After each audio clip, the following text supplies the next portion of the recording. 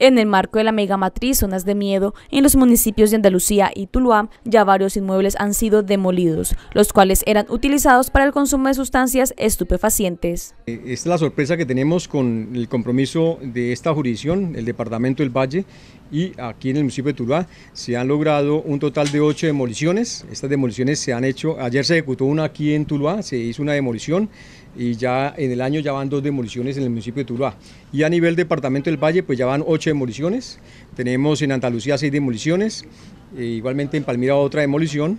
Y pues es un trabajo importante de la policía que no solamente luchamos eh, acabar con los expendios, sino que también estamos acabando estos sitios que se han convertido en unos mitos, esos eh, inmuebles que se ubican con tradición delictiva en la venta y en el tráfico de estupefacientes, entonces también estamos haciendo el proceso de demolición, unos procedimientos que se hacen por medio de extinción de dominio. La extinción de dominio es un mecanismo que contribuye a combatir diferentes delitos.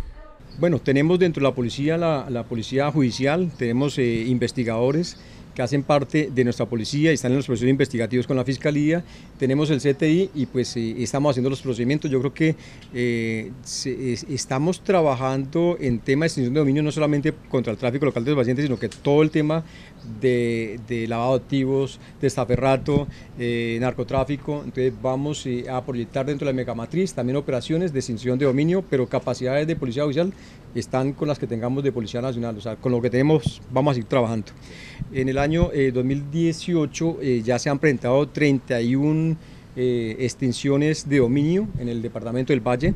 Estas extinciones tienen un valor de más de 15 mil millones de pesos que es lo que le estamos quitando a los delincuentes y entregándole esto al Estado para que se proceda con estos bienes inmuebles incautados.